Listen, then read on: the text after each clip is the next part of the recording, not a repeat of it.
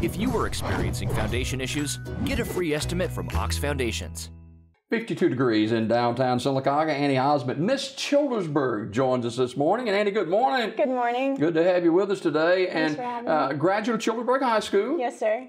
Tell us a, a, little bit, uh, update us a little bit about, about where you are as Miss Childersburg now. Okay, I graduated from Childersburg High School in 2017 and took off to Auburn University, which was really fun for me. I followed in my brother's footsteps, and we both followed in our mom's footsteps. So down in Auburn, I've gotten to be a part of the SGA. I've been a senator. Um, I've gotten to represent the College of Science and Mathematics. I'm now studying psychology, and I'm planning to apply to occupational therapy school in the fall. So I'll have about three more years of school after I finish up my senior year at Auburn. And I was crowned Miss Childersburg in December, so that's been something that I have really enjoyed getting to do, represent my hometown, um, and it gives me another reason to come back home a little more often than I probably should instead of studying all the time. Annie is a former star student here. Uh, on TV 47 too. And uh, what's it been like since you were crowned Miss Childersburg? Well, a lot has changed. It's Yeah. been it's been a lot different than I expected it to be, honestly.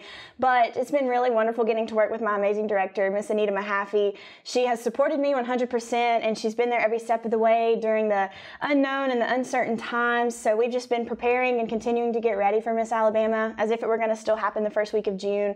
We're not necessarily sure exactly when it's going to happen, but hopefully sometime this summer. So we're just continuing to mm-hmm. prepare and to be ready for whenever that time does Now, come. what adjustments have you had to make personally? I am not the greatest fan of technology, and all classes just went straight to online after spring break. So, luckily, we got to enjoy our spring break right before Corona took off really big. Um, but adjusting to online was really difficult for me. I'm a huge people person, and I love to interact with people. So, sitting out in my bedroom every day was a lot different than going to class and getting to pass people out on the concourse. So that was a huge adjustment for me, but we made it work, and I'm luckily very healthy, and so is all of my family. So I'm appreciative for that. Now, uh, Miss Alabama scheduled for June, right? Now, that's kind of up in the air a little bit right they, now. Um, they told us recently that it won't be the first week of June as originally planned, but it will hopefully be towards the end of summer. They're waiting to hear back from a bunch of people about guidelines and how many people can meet at a certain time because there are a large number of us competing. so, how does that personally affect you as far as preparing and getting out and seeing people and stuff like that? It's um, it's been a little more difficult. I know a bunch of people aren't able to really practice their talents as much as they would like to because dance studios are closed and you can't have in-person meetings with your vocal coaches or your baton coach. So it's a lot different preparing than ever before. But um, it's we're learning to adjust to it, and I think that's one thing that this organization really teaches you is to just kind of go with the flow and be in the moment. So that's something that I'm really focusing on is just trying to take advantage of the moment that I have and the people that I'm with at that moment, and just preparing as if it were still going to happen in the beginning of June. And whenever it does happen, I know that I'll be ready. What about your platform? Uh, I get to work with Alabama Childhood Food Solutions. Uh, my That's a platform great name- organization. it is. It's it's very near to my heart. And actually, a little plug before I get to going. Um, this Saturday on Highway 21 at the Piggly Wiggly from 9 to 2, Alabama Childhood Food Solutions will be doing a non-perishable food item drive. So if you're stopping by to get groceries or have a few extra cans, I know they would love to have um, anything you could donate because they're now feeding 750 families. Um, I can think back to a few months ago when it was just 300, but ever since this pandemic has happened, there are lots of students out of school. There are lots of families who are unemployed now, and so it's amazing to get to see the impact that they're having on our community and those around us. I know they've reached out to seven counties, I think now, and they're just they're reaching out to a lot of people. But that's my platform. That's what I get to work with is Alabama Childhood Food Solutions, and um, I partner a lot with Talladega County Schools and Sylacauga City Schools to raise money um, for Alabama Childhood Food Solutions to then give back to those same students with food. Yeah, the, the Talladega County school system, as the Sylacauga City school system, has raised a lot of funds Yes. uh, to help organizations like uh, Alabama Childhood Food Solutions. Yes, I, uh, I've partnered every time with some sort of organization, but most of the time it has been Talladega County Schools, and I've raised over $35,000 in just the last few years for Alabama Childhood Food Solutions. So I'm super grateful for Dr. Suzanne Lacey and all of the schools and their support because they truly make such an impact on ACFS and the number of families that they're able to reach, including times like right now. How did you get started in uh, pageantry? I did a few pageants when I was little, but I refused to wear my shoes that day, and I yelled into the audience to ask my mom the question that the, the lady not. asked. She asked what my pet's name was, and I couldn't remember. Yeah. I don't. That's not really something you forget usually, but I yelled out into the audience. How old were you then? I was four. Okay, I was all tiny. right. I actually won. Somehow I ended up winning that day. I was That four. have did it. um, but I took a break then, and I didn't really start competing in the Miss America organization until I was a junior in high school. Annie Ozment, Miss Childersburg. How did it feel when they called your name and placed that crown on your head?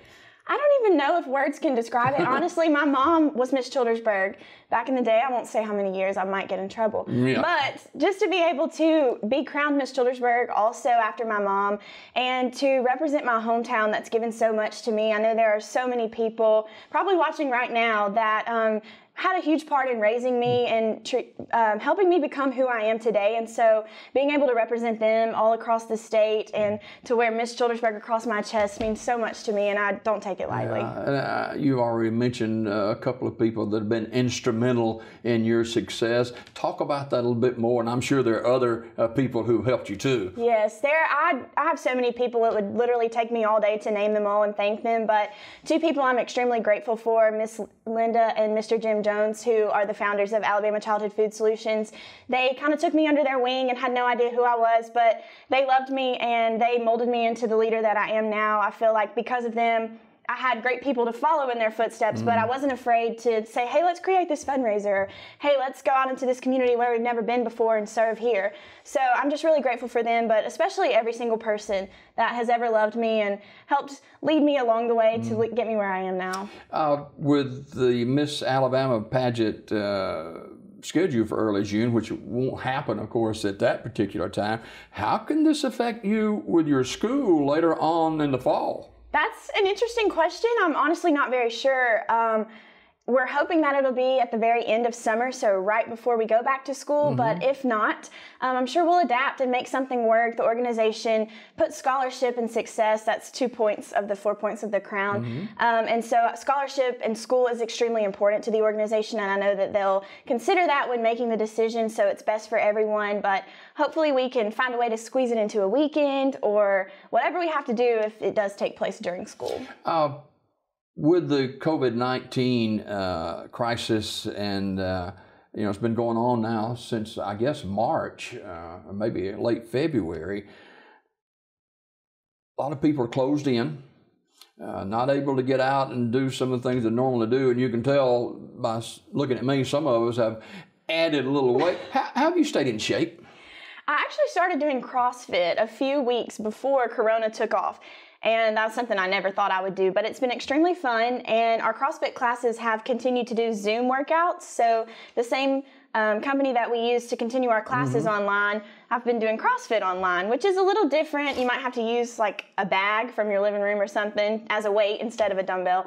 But it works, it gets the job done. And I've just kind of been trying to stay outside, stay active, and run around on the farm or walk my dog, just anything I can do to kind of stay out of being stuck in the house all the time. Yeah, and uh, you know we can eat twelve meals a day. And oh yeah. so, Annie Ozment is Miss Childersburg. She's our guest this morning. Speak this morning about what you feel your responsibilities are toward younger girls, young girls that that'll be walking in your footsteps before long. I would like to say that I feel like I'm the leader I am today because I had outstanding role models to look up to when I was a young girl. Um, and I just think it's important that we remember as title holders and really just as people in general, with or without this crown on your head, there are so many people looking up to you and who worship the ground that you walk on because to them you're a princess and you're a really cool person.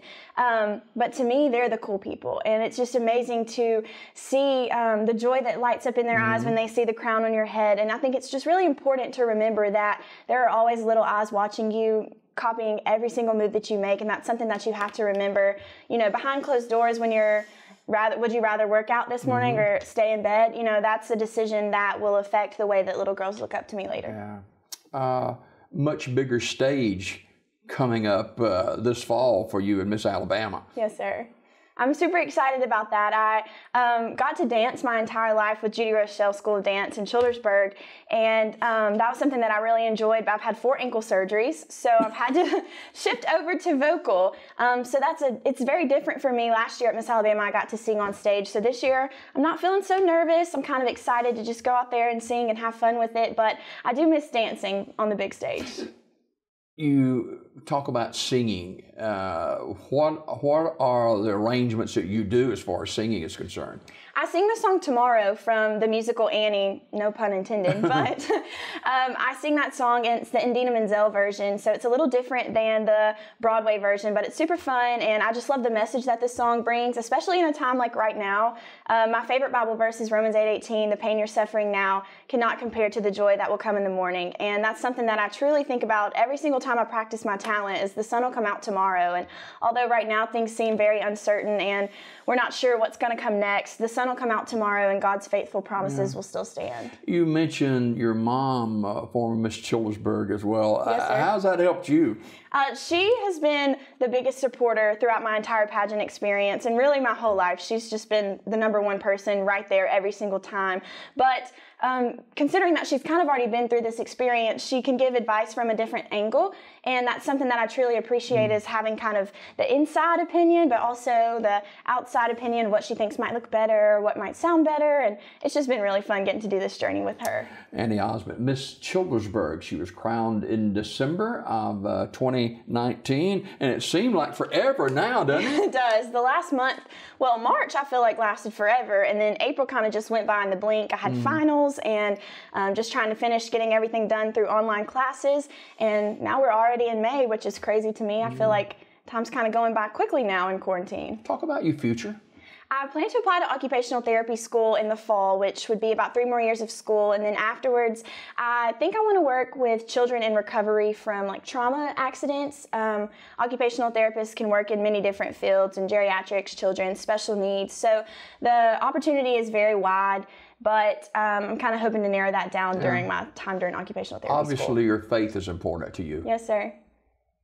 Um, I was raised at Fayetteville United Methodist Church, and Brother John. Oh he, yeah. Yes, he actually is related to us. He's my cousin, but I don't think I would have chosen to go anywhere else if I had the opportunity. He has just been so wonderful in teaching me the Word, and I just remember ever since I was a little girl, even sitting in children's church, he would always find a way to make the message make sense to whoever he was yeah. sharing with. So. Yeah.